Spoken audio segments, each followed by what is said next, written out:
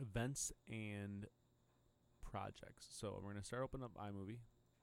So go to Launchpad, then go to iMovie.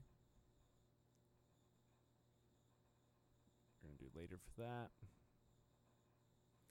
Okay, now what we have here is we have your projects up here and your events. Basically, these are both just different types of folders. Um, an event can hold all different types of media, where your project is just for this one project within this program only.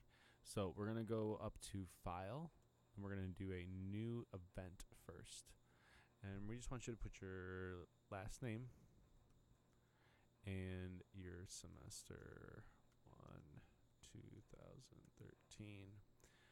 All right, so now we have our new event. We can put all our different types of media in here. All right, so now we're going to go up to our projects. We're going to go File, New Project.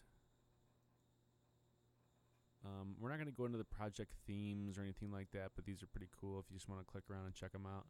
Um, up here we have our new project. We're going to call this assignment one Larkin create. All right. So that's how you make a new event and a new project. Um, stay tuned for the next video. So I want you to go through and do this exact same thing, put your name here and here.